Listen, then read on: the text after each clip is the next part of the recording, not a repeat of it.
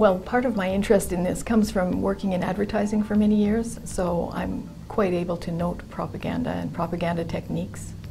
And uh, it seemed odd to me that the consensus studies kept coming up with a 97% figure, and all of them came up with that figure.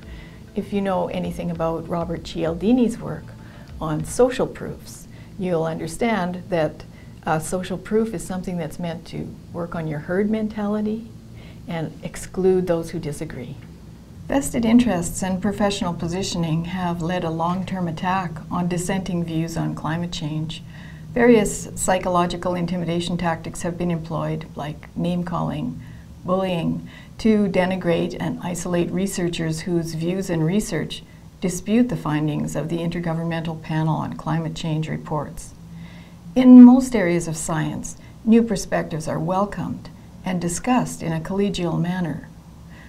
As an author of this study, I examined the case study of a recent peer-reviewed paper in climate science called Seepage, Climate Change, Denial, and Its Effect on the Scientific Community by Lewandowsky, Oreskes, and et alia, in which uh, disparaging words have infiltrated peer-reviewed works, thus becoming officially condoned as an acceptable part of the scientific language.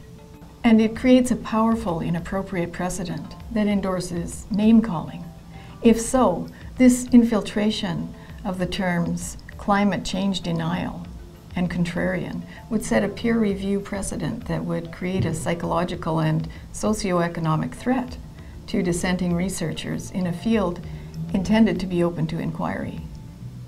According to the National Academies press publication called On Being a Scientist Responsible Conduct in Research, uh, we are told that Science has progressed through a uniquely productive marriage of human creativity and hard-nosed skepticism, of openness to new scientific contributions, and persistent questioning of those contributions and the existing scientific consensus. This Code of Conduct document was produced by the Committee on Science, Engineering, and Public Policy of the National Academy of Sciences the National Academy of Engineering, and the Institute of Medicine. The American Association for the Advancement of Science is the largest such scientific body in the world, and it represents 24 disciplines.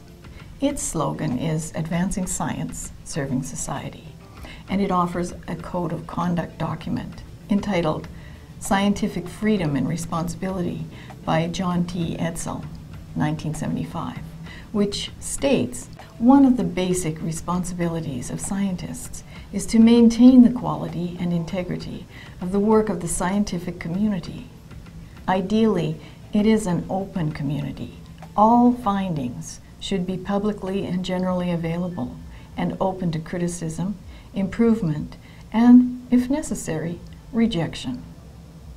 Thus, it is concerning to read a recently published peer-reviewed paper entitled Seepage, Climate Change Denial and Its Effect on the Scientific Community by Lewandowsky, Oreskes, et alia, 2015, published in the Elsevier Journal, Global Environmental Change, that begins with the statement, opponents of the scientific consensus on climate change have often emphasized uncertainty to forestall mitigative action. This statement is a sweeping generalization that is the hallmark of propaganda, not science. It appears to contradict a fundamental statement of the codes of conduct of the NAS and the AAAS. We use this paper, Lewandowsky et alia, 2015, as a case study to explore the implications of the derogatory language employed, now inherently endorsed by the scientific peer-reviewed community through the publication of this paper. And we review the corresponding impact on the scientific community.